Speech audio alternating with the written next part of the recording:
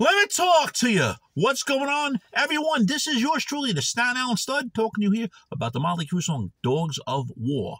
Yes, the song is a complete piece of trash, and shockingly enough, it has charted on Billboard, number 19 on the Billboard Mainstream Rock Chart, number 38 on the Billboard US Rock Chart and number two on the Billboard Digital Rock Sales.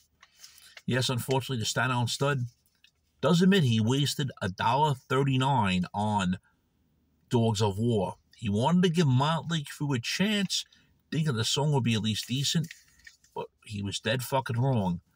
Just like a lot of fans out there as well. So, those that have listened to Dogs of War, what do you think about it? Definitely is a piece of trash. Yeah!